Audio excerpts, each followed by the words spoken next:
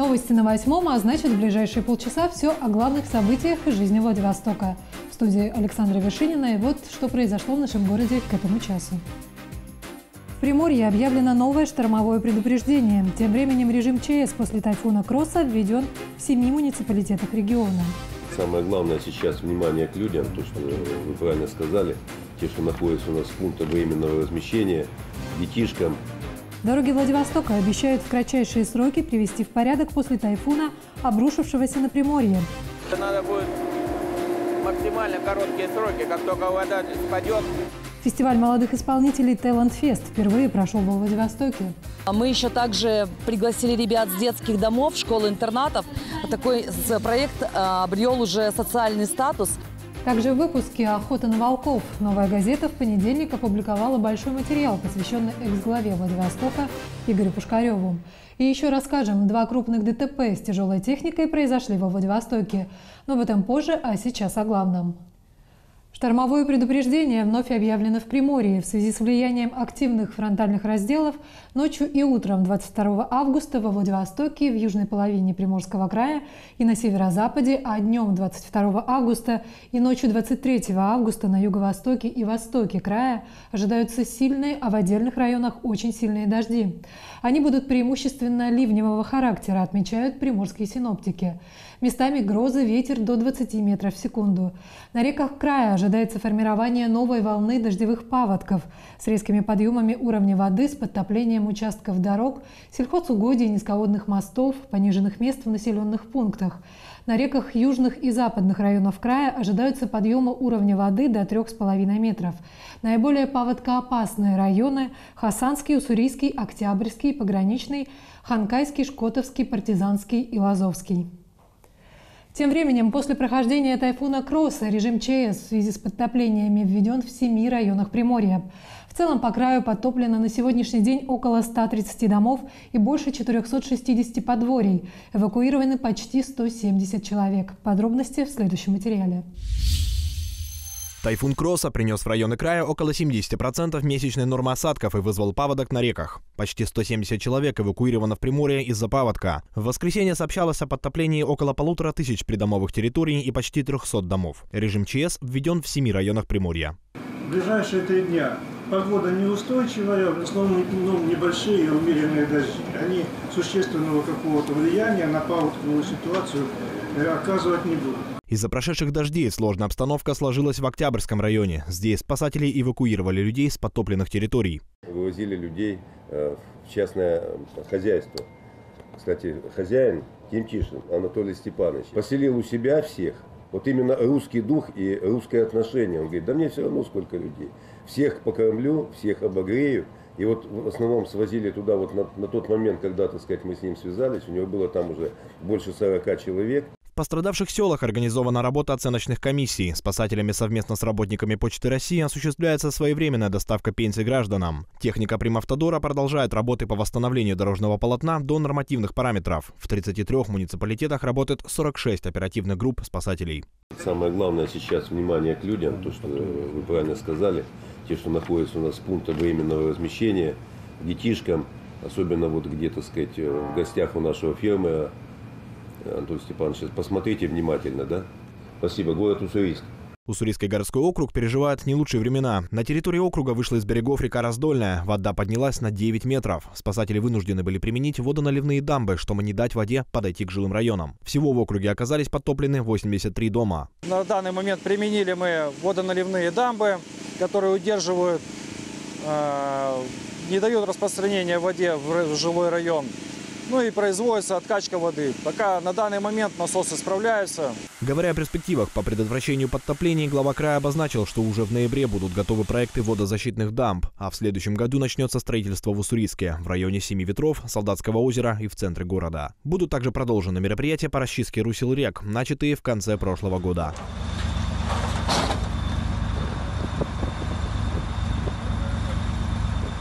Тем временем у берегов Приморья спасли 75 северокорейских рыбаков с разбитых штормом судов. Напомним, иностранные суда запросили разрешение переждать непогоду близ российского берега. Многие шхуны находились в плачевном состоянии и подняли флаг «Терплю бедствия». Только в Ольгинском районе собрались около 200 иностранных судов.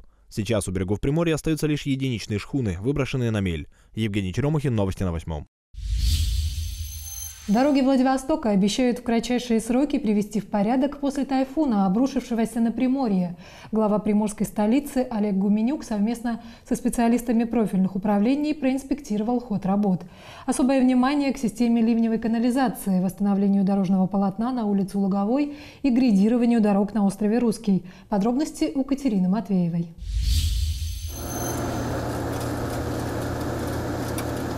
После затяжных дождей дороги Владивостока напоминают русло рек. Система ливневой канализации в очередной раз проверку тайфуном не прошла. При этом дорожники в постоянном режиме ремонтируют и прочищают ливневки, а во время сильных дождей выходят на проблемные участки, чтобы вручную регулировать сброс воды. Но этих мер недостаточно. Мэр поручил сразу после окончания дождя убрать грунт и насосы с городских дорог. Аварийно-восстановительный ремонт планируется сделать на улице Пушкинская и на спуске по Всеволода-Сибирцева. Уже восстанавливают улицу Луговую. Грейдер снимает верхний слой асфальта, после чего, как только позволит погода, будет уложено новое покрытие.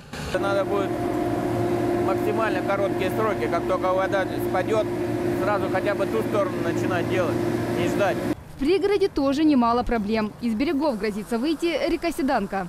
Кто-то из собственников суживает русло, и при аварийной сбросе воды с водохранилища это будет затопление. Глава города проверил, как идет устройство дороги на месте клумбы на въезде на остров Русский, а также грейдирование дорог на острове. После дождей грунтовка превратилась в труднопроходимое обычным транспортом направление. Полностью комплексно отремонтировать и дорогу, и заменить все автобусные павильоны на участке. Остановки мы полностью по всему маршруту поменяем, да? Да, так точно. До самого конца, где у нас идет. Да. Где, чтобы, как мы людям обещали, мы должны были выполнить то, что мы обещали. Это у нас с вами э, павильоны остановочные, это у нас с вами Парис, это у нас с вами Поспелово и дорога экипажная. И мелководный еще. То есть э, соединение в район мелководного. Также мы ведем дорогу э, с заменой 14 павильонов на острове Русском по направлению экипажной, Поспелого э, и, и Парис в том числе. На русском острове создан участок, за которым закреплена техника. Два трактора, грейдер, два самосвала. Это позволяет оперативно решать дорожные проблемы. Сейчас дороги грейдируют, подсыпают грунтом. В этом году на острове будет уложено 8 километров асфальтобетонного покрытия. Катерина Матвеева, новости на восьмом. Во Владивостоке госавтоинспекция проводит проверку после ДТП с мусоровозом, который протаранил супермаркет в центре Владивостока. Утром в понедельник мусоровоз въехал в витрину магазина на Светланской 7. Автомобиль ехал с Посейской улицы, когда, по предварительным данным, у него отказали тормоза. Большегруз въехал в здание, которое является объектом культурного наследия. В результате ДТП на здание обрушилась кирпичная кладка. Витрина супермаркета разбилась, стекла и кирпичи осыпались в кафе, которое находится под магазином. Машина получила серьезные повреждения. Пострадал и сам водитель большегруза. Из кабины его вытаскивали спасатели. 53-летний мужчина с переломом стопы госпитализирован во вторую краевую больницу. Больше никто не пострадал. Как отмечают очевидцы, по пути движения неисправного большегруза не было машин. В ходе проверки назначено проведение ряда исследований, в том числе автотехническая экспертиза. И еще одно ДТП с участием тяжелой техники во Владивостоке. Накануне неуправляемая бетономешалка снесла шесть автомобилей в районе улицы Магнитогорской. В аварии пострадали три человека, два водителя, а также пешеход. Автобетоносмеситель спускался с улицы Чкалова по Магнитогорской в сторону проспекта Столетия. По предварительной информации, во время движения автомобиля отказали тормоза. 23-летний водитель не смог предотвратить дорожное происшествие. Грузовой автомобиль, продолжая движение, совершил столкновение с несколькими машинами, после чего выехал на тротуар и наехал на мужчину. Участниками ДТП стали сразу шесть иномарок. В результате аварии у одного из водителей ушиб головы, у пешехода диагностирован перелом голени, у водителя бетономешалки ушиб поясничного отдела позвоночника. Сотрудники ГИБДД Владивостока устанавливают причины и условия, которые привели к ДТП. Назначено проведение ряда исследований. Посольство России пытается выяснить местонахождение россиян, моряков судна «Мармалайта», захваченного пиратами у побережья Камеруна. Об этом сообщил временный поверенный в делах РФ в республике Александр Фомин. 15 августа в районе порта Дуала пираты атаковали принадлежащее немецкой компании грузовое судно «Мармалайта».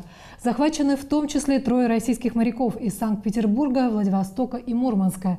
Все они относятся к командному составу. Капитан, старший помощник и старший механик. В посольстве отметили, что пока не удалось связаться с теми, кто захватил судно.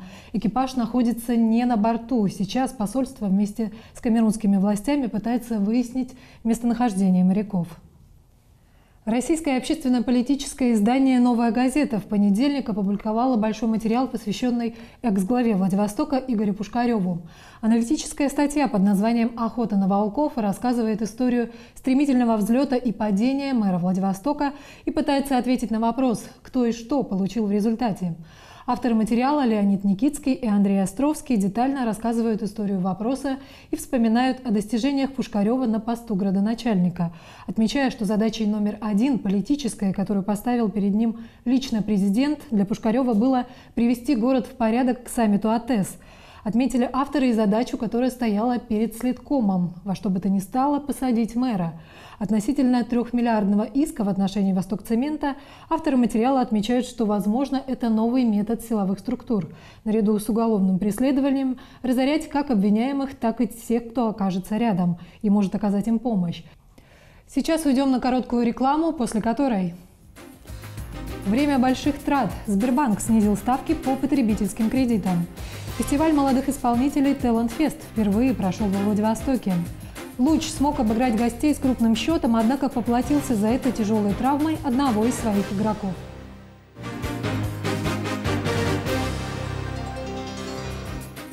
Сегодня с вами я, Александра Вершинина, и мы продолжаем. Время больших трат. Сбербанк снизил ставки по потребительским кредитам. Фестиваль молодых исполнителей Talent Fest впервые прошел во Владивостоке. Луч смог обыграть гостей с крупным счетом, однако поплатился за это тяжелой травмой одного из своих игроков. Отпуск, сезонные покупки, сборы в школу. Август и сентябрь – время больших трат. Именно в этот период, по данным финансистов, россияне чаще обычного берут кредиты. В период повышенного спроса Сбербанк снизил ставки по потребительским кредитам. Все подробности у Дмитрия Беломестного.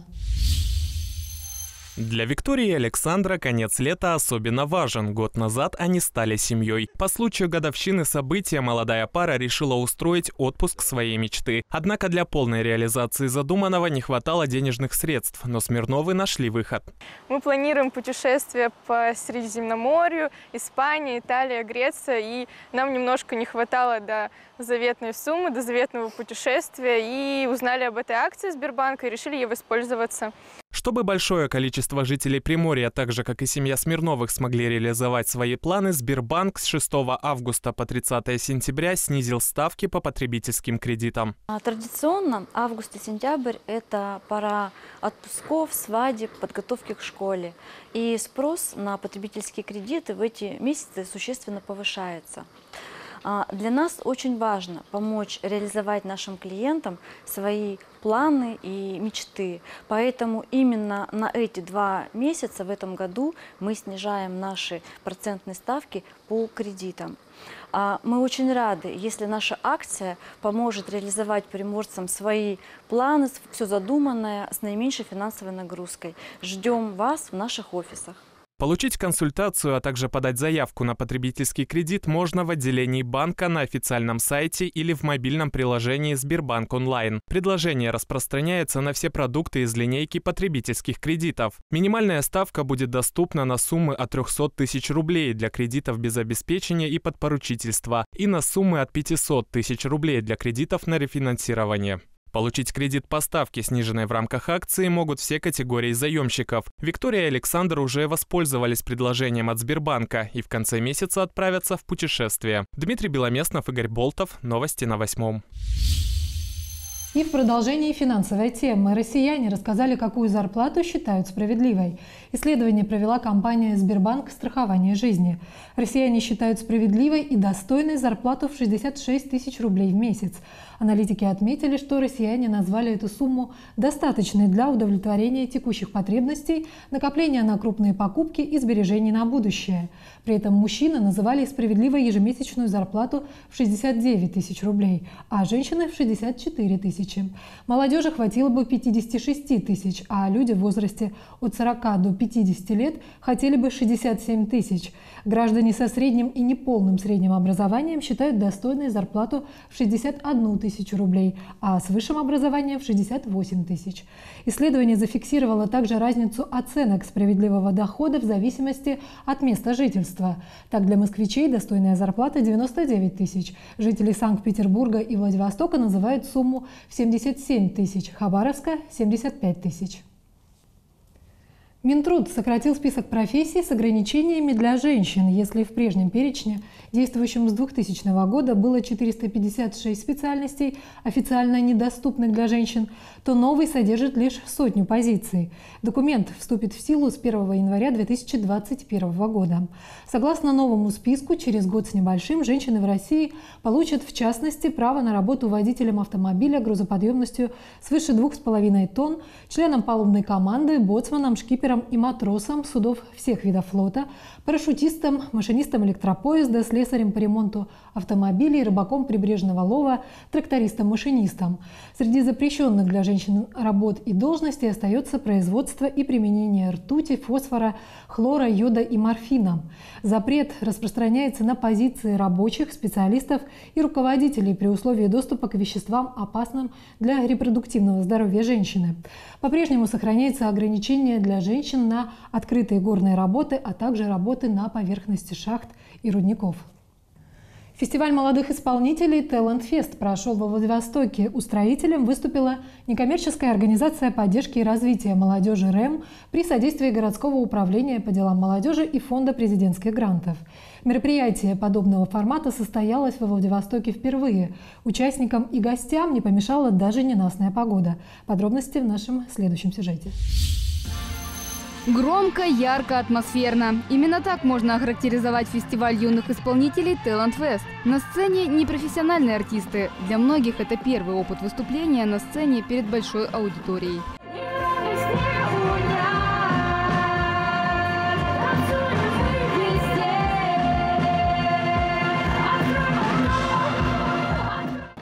Fest – заключительный этап конкурса Show. Проект был создан во Владивостоке 10 лет назад энтузиастами некоммерческой организации РЭМ. Конкурсы дают возможность талантливым людям заявить о себе, не тратя на это больших денег. В прошлом году проект получил поддержку от Фонда президентских грантов в размере более миллиона рублей. Мы еще также пригласили ребят с детских домов, школ-интернатов.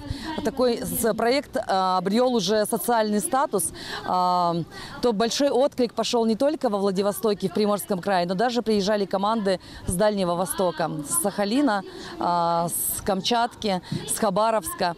Вот. И ну, таким образом мы подумали, ну как-то странно, если это все закончится просто этапами определенными. И думаем, ну может быть сделать талант-фест и собрать всех участников. И эту идею тоже поддержал фонд президентских грантов. И, соответственно, мы как бы в складчину, мы со своей стороны, они со своей сделали этот проект. На фестивале талантов смогли представить на суд зрителей свои номера и ребята из детских домов и школ-интернатов. Мы приехали, чтобы проявить себя, то есть показать на большой сцене. То есть самим интересно получить опыт.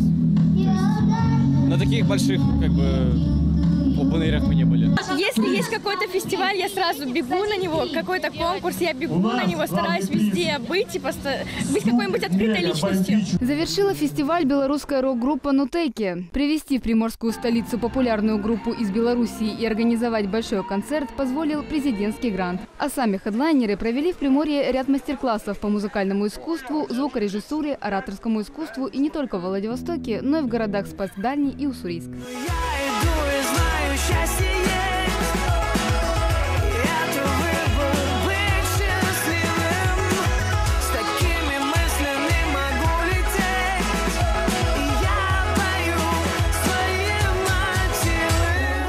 Катерина Матвеева, новости на восьмом.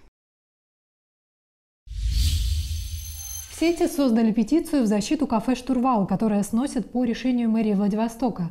Кафе находится на русском острове и знаменито тем, что заведение посещал сам Владимир Путин. Здесь президента страны угощали трепангами не один год. Приморские деликатесы в нем пробовали и звезды театра и кино. На сегодня уже почти 400 человек встали на сторону владельца кафе. Так, закрытие кафе в Бухте-Рында вызвало негодование и у российских актеров и музыкантов. Артисты театра и кино Сергей Безруков, Андрей Кайков, Игорь Ливанов и певец Ярослав Сумишевский в своем видеообращении выступают против сноса кафе на Русском острове.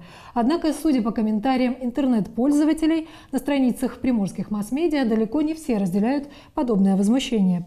Приморцы выступают за соблюдение закона и равные условия для всех, требуют не создавать прецедентов, а также призывают беречь природу края и, в частности, острова Русский. И к новостям спорта. Футбольный клуб «Луч» завершил домашнюю серию матчем против «Факела». Команда из Воронежа приехала во Владивосток в статусе аутсайдера. Приморцы хоть и смогли обыграть гостей с крупным счетом, однако поплатились за это тяжелой травмой одного из своих игроков. Подробности расскажет Максим Яковлев.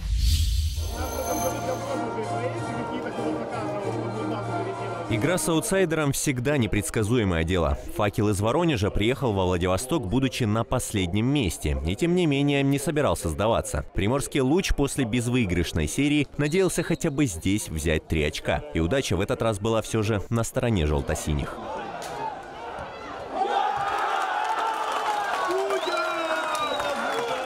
Первый гол влетел в ворота воронежцев уже на второй минуте. Под перекладину буквально выстрелил Кутьин. Это дало понять зрителям, что «Тигры» намерены завершить домашнюю серию уверенной победой. Была еще пара очень опасных моментов и у тех, и у других. Однако до конца первого тайма счет больше не поменялся. В ряде ситуаций уступили. В простых вроде бы э, эпизодах игровых. Но хозяева удачно их использовали забили гол. Мне пока непонятно вообще, как мы первый гол пропустили.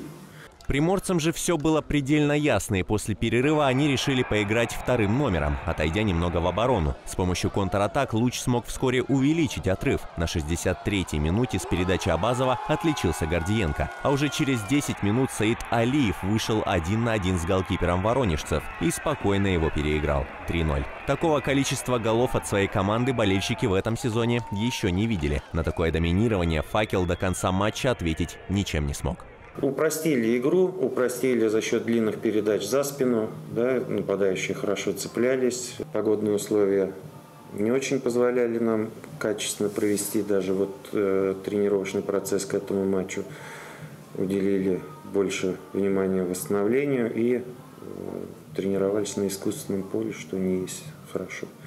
Ударную игру, к сожалению, омрачила тяжелая травма в составе желто-синих. В одном из последних эпизодов Дмитрий Калугин с разгона влетел во вратаря факела. 21-летний полузащитник получил перелом верхней челюсти. Его ждет отнюдь не быстрое восстановление. Как бы то ни было, команда кровью и потом завершила пятиматчевую домашнюю серию. Красивая победа подняла приморцев на девятую строчку в турнирной таблице. Максим Яковлев, новости спорта на восьмом. И напоследок еще раз коротко об основных событиях во Владивостоке. В Приморье объявлено новое штормовое предупреждение. Тем временем режим ЧС после тайфуна Кросса введен в семи муниципалитетах региона. Дороги Владивостока обещают в кратчайшие сроки привести в порядок после тайфуна, обрушившегося на Приморье. Охота на волков. Новая газета опубликовала большой материал, посвященный экс-главе Владивостока Игорю Пушкареву. Время больших трат. Сбербанк снизил ставки по потребительским кредитам. Фестиваль молодых исполнителей Talent Fest впервые прошел во Владивостоке.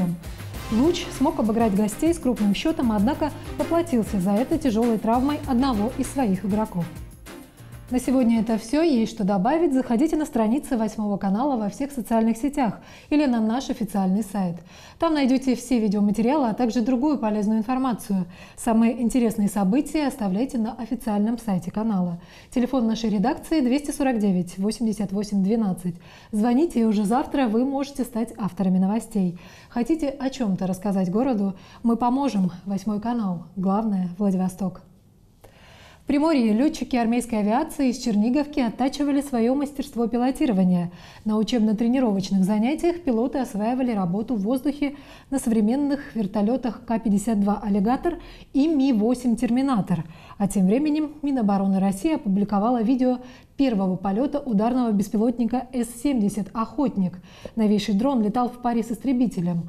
Дрон используется для разведки объектов ПВО противника и поражения целей на земле по командам летчика. На высокотехнологичную машину смотрим вместе и без комментариев. Сразу после прогноз погоды в студии работала Александра Вершинина и увидимся на восьмом.